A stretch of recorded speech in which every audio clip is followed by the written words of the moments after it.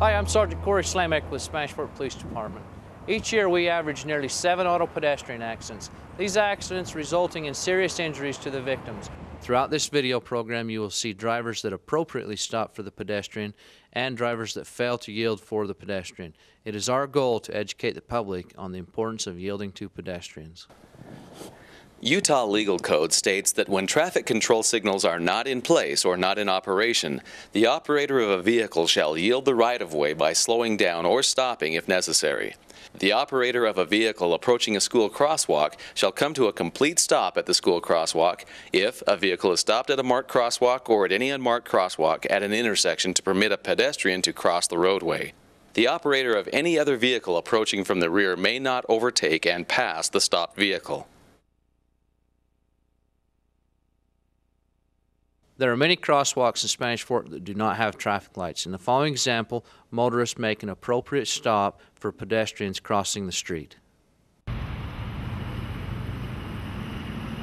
In this take, you can see that the vehicles make appropriate stops and are yielding to the pedestrian.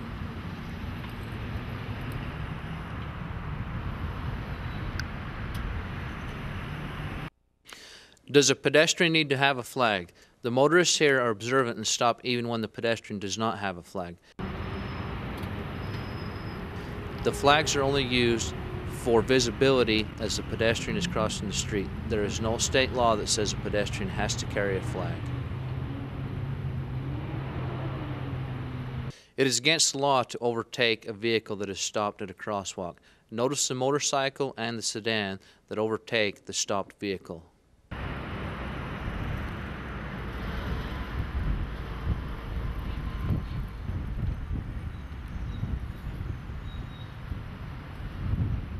Notice the SUV that is thinking about overtaking the stopped sedan. Watch what happens when they realize why the sedan has stopped.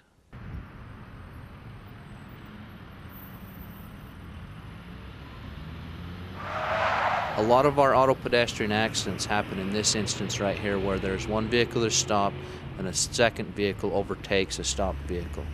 Here are some more clear violations of motorists overtaking a stopped vehicle at a crosswalk.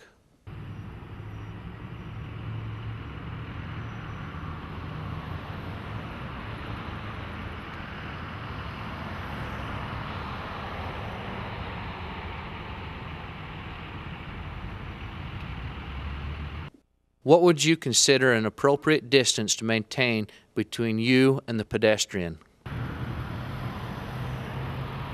The state law says that you must stop behind the crosswalk and allow the person to safely cross the street.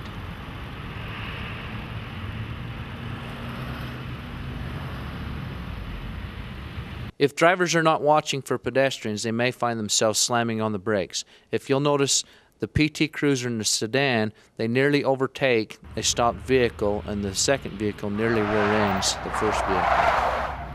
Drivers need to make sure that they're paying attention to not only what's ahead of them, but also vehicles to the side of them as they are slowing down for some unknown reason. Here's another example of a motorist more concerned about the speed that they're going rather than the safety of a pedestrian. If you notice the pedestrian is well off the curb and several vehicles are failing to yield to the pedestrian. That truck there is in a quick hurry to get through rather than stopping and yielding to the pedestrian to allow them to safely cross the roadway. In this example, the far lanes of traffic seem to have the more observant motorist. The pedestrian is hesitant to cross because in her lanes, on her half of the roadway, the vehicles are failing to yield where you notice the dump truck and the van have clearly stopped allowing the pedestrian to cross safely across the street. Here's another example of the motorist on the far side of the crosswalk paying better attention than the motorist closest to the pedestrian. You can see the pedestrian is well into the roadway and cars are failing to yield, where the vehicles on the opposite half of the roadway have already stopped and yielding to the pedestrian. You need to remember that if the pedestrian is on your half of the roadway, you must stop and yield to that pedestrian. How many steps into the street does a pedestrian need to take before being seen? If you know this pedestrian is clearly into the roadway attempting to cross the street, these vehicles are failing to yield. If you notice the green vehicle that just stopped, she's well into the crosswalk, forcing the pedestrian to have to go out around the vehicle. Notice here that not only is this a clear violation, but the pedestrian has to stop and wait for the motorist. Notice the pedestrian is clearly into the roadway and is hesitant to continue across because vehicles are going so fast and failing to yield to the pedestrian. It's our goal as a police department to reduce the number of auto pedestrian accidents that we have to zero.